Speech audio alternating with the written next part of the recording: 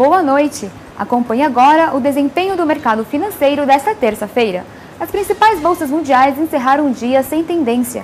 Em meio a uma agenda vazia de indicadores, os investidores aproveitaram para ajustar posições, aguardando novas notícias. Diante desse cenário, Wall Street terminou a sessão instável. No mesmo sentido, os índices europeus encerraram sem direção definida. Os investidores repercutiram a queda da confiança alemã na economia do país. Por aqui, o Ibovespa acompanhou o movimento externo e fechou com leve alta. O avanço foi puxado principalmente pelas ações da Petrobras. Os agentes financeiros acompanharam ainda o anúncio do ministro da Fazenda, Guido Mantega, que o PIB brasileiro crescerá entre 8% e 10%. Diante disso, o principal índice acionário da BMF Bovespa fechou em leve alta de 0,13%. Por sua vez, o índice Merval da Bolsa de Valores de Buenos Aires encerrou o dia com recuo de 0,39%.